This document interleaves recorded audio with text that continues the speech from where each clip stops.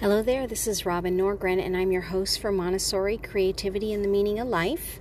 We are in the middle of a series called Love Poems from God 12 Sacred Voices from the East and the West, celebrating um, poetry and poems in particular that um, focus on the theme of love transmitted through their uh, written word.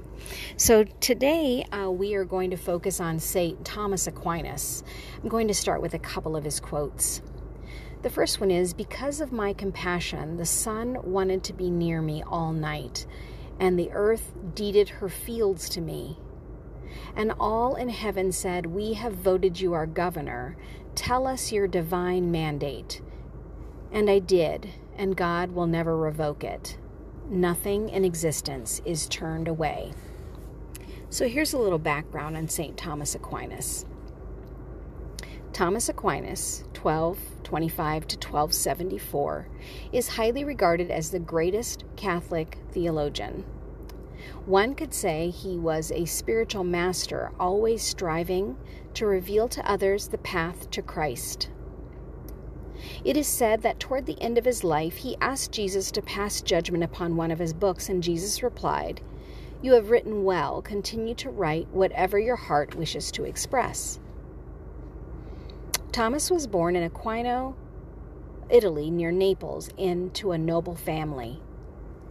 And at the age of five, he was sent to the Benedictine Abbey of Monte Cassino to receive his basic education, in the hope that he would someday become an influential abbot.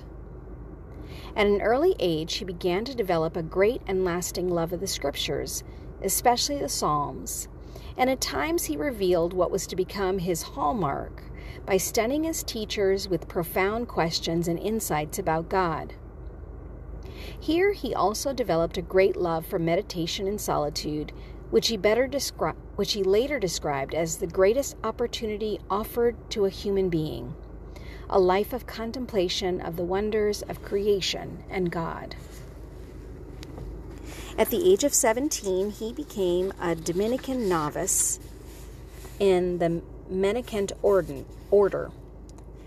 And this order, which was considered countercultural, had been started by a contemporary of St. Francis of Assisi and was based on the principles of poverty, preaching, and complete faith in God.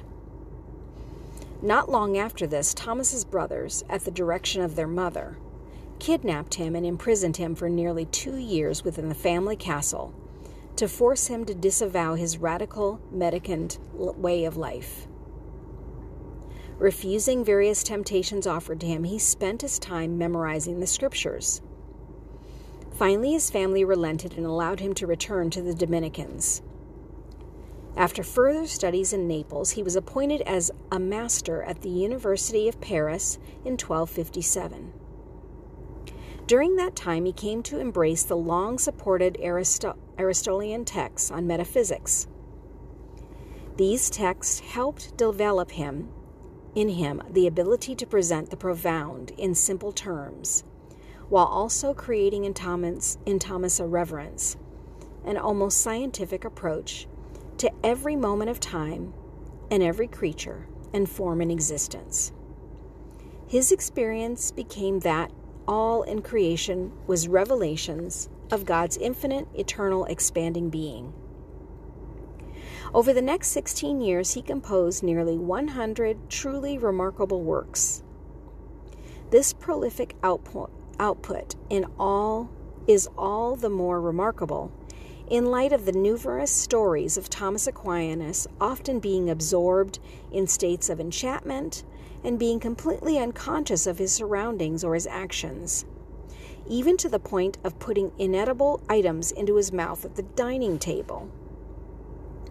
Near the end of his life, he had a revelation, a divine revelation, while celebrating Mass in the chapel of St. Nicholas in Naples, that caused him to state, I can no longer write.